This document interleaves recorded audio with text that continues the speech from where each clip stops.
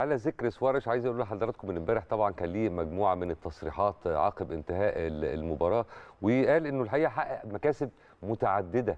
يعني من الماتش بتاع امبارح منها طبعا وعلى رأسها فكرة يعني التعرف على قدرات اللاعبين الشباب ومنحهم الفرصة.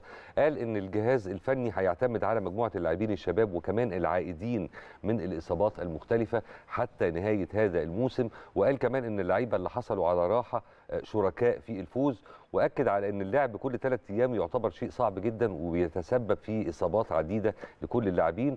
مع التأكيد على إن اللاعبين الشباب ما زال لديهم الكثير وقال إنه إن إحنا راعينا مشاركة أكبر عدد منهم لتجنب تعرضهم للإصابة وإن الاختلاف في أو الاختلاف عن المباريات الماضية يعني إن إحنا سجلنا هدف مبكر إلى حد كبير إلى حد كبير وسيطرنا على اللقاء وعندنا ثبات دفاعي في خامس لقاء دون أن تهتز من خلاله شباك النادي الأهلي وده أمر برضو الحقيقة ملفت جدا للنظر.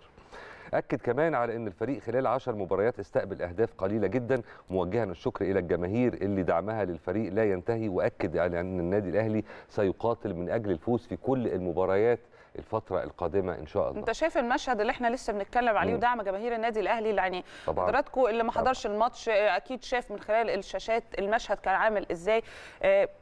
يعني هو إحنا كده. يعني ما عندناش حاجة ثانية نقدر مع ان هم رايحين ماتش امبارح وهم اوريدي في إحباطات سابقة. ده ما أخرهمش وما منعهمش إن هم يروحوا ويدعموا الكلام ده ابدا. هي طبعا. دي عيلة الأهلي. عشان كده كنا بنقول الفترة اللي فاتت الهجوم اللي كان على لاعبتنا ده مش مننا. ده برانا.